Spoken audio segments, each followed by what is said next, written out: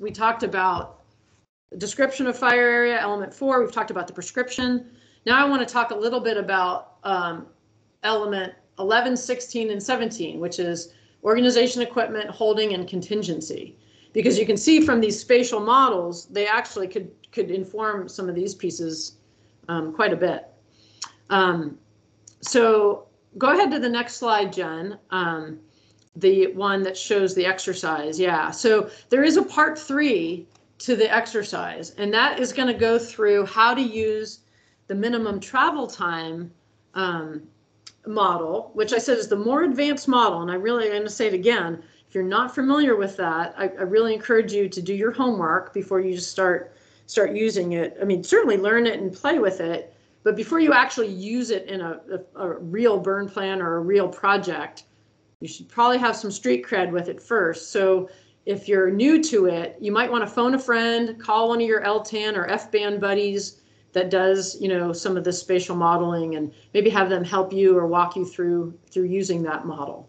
Um, I just want to encourage that extra kind of education, if you will, when using that. But I do have an exercise on it, so it's it'd be great if you want to walk through it and see how it works, um, which is which is what we want you to do. So, okay, so um, the next piece, go ahead in the next slide.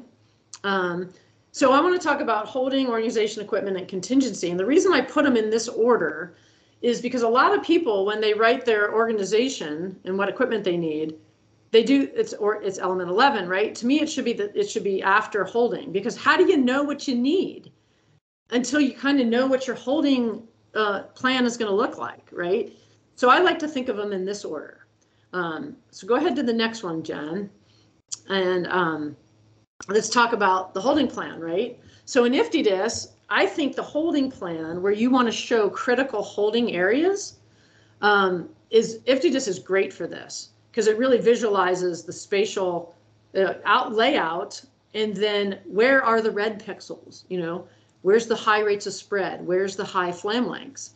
I can really show that on a map. Um, and that can really be helpful when you're designing this section of your plan. So go ahead to the next one. So in this, we've got, eh, back to our CIRUS unit, um, we've got three areas.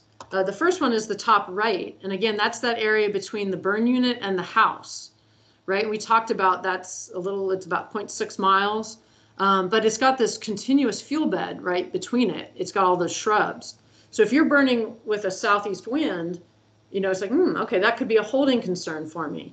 Um, the uh, image on the left, the uh, the one that zoomed out a little bit more, and has the arrow going down towards the river here. Um, that's another stretch. It's about four miles, but it's another stretch of continuous fuels. You know, depending on what wind you're burning out of. You know, there's some structures down here by the river, and God knows we've seen some crazy fire behavior these days. Um, so four miles doesn't isn't isn't that far an area anymore. um, it seems like it used to be, but it's not anymore when it comes to a fire getting out of hand. So, um, so when we come to these critical values, whether they're outside of the unit, the last picture is the stuff that's inside of the unit. So if you want to look at what flame lengths, if you had needing to protect, for example, we have this orchard, which is in the kind of the top center of the north line, maybe that needs to be protected. Well, what kind of flame lengths can I expect there? Um, so go ahead to the next slide, Jen and um, we'll basically look at the fire behavior as it uh, applies to the, some of those things I was just showing you.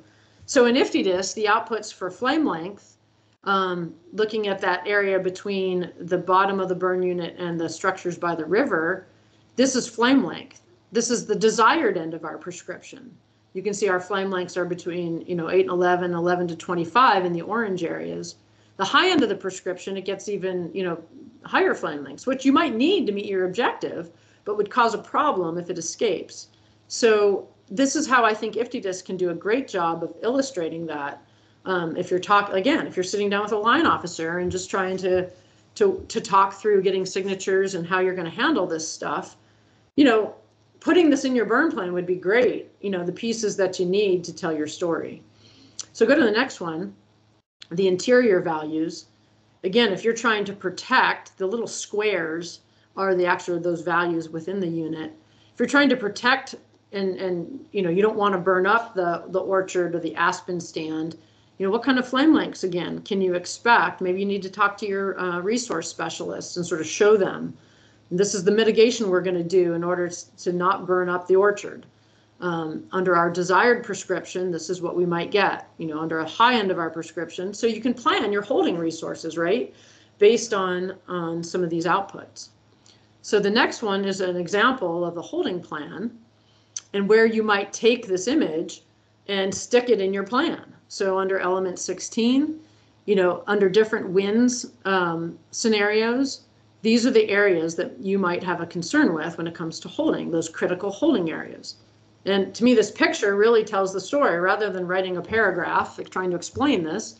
Just stick the picture in and you can point those things out on the map. Um, then when it comes to element 11, which is the next uh, slide, and you're trying to decide, well, how much stuff do I need in order to hold this burn and maybe protect those values? Now you can look at those rates of spread, those flame lengths, the distance to those values, um, and granted, you're going to do this out in the field, of course, because you're going to know your burn unit, you know, intimately from walking around in the woods. But th this way, you can you can really use the the pictures to to illustrate what you know in your mind. So I think of it more as a communication tool than anything. And it's probably going to maybe just affirm what you already know. But when you're trying to, you know, get buy-in for these things, these pictures really help. Um, so that's why I think if you do this and then think about your organization, it's a little better order to do it in. Um, so then go to the contingency planning, which is the last section. And the same thing. So what contingency planning is determining what other stuff, what additional stuff and actions I'm going to need in order to keep the prescribed fire within the scope of the plan, right? So contingencies planning is if my holding plan doesn't quite work out and I need some extra help, what is that going to look like? So by using this example of the house um, that's off to the north of the burn unit, I can use our minimum travel time model in IFTDSS, which again, this is the exercise three if you want to walk through that yourself. So go to the next slide. And the minimum travel time model in IFTDSS actually shows fire spread under certain weather conditions. So in this case, that house is about 0.6 miles. And in one burn period under our desired uh, fire behavior in our prescription, you can see the spot fire, if there was a spot fire on the north end of the unit, it might spread close to that, that house in one burn period. So that's a good way to think about it. Well, if I get a spot, you know, how am I going to deal with that? What kind of resources do I need? So go to the next one, Jen, and then this is the comparison. And again, you, the same compare model that I showed you, the compare weather, you can do that with our minimum travel time model as well.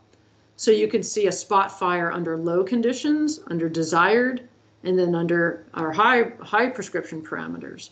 Um, so hopefully that comparison, you know, looking at these things, I, I, put each screen capture on here just to make it easier to look at on the slide, but you can do this in IFTDSS and then toggle those on and off um, to kind of go back and forth and, and really look at what you've got. Then you can go back and rerun your prescription numbers too.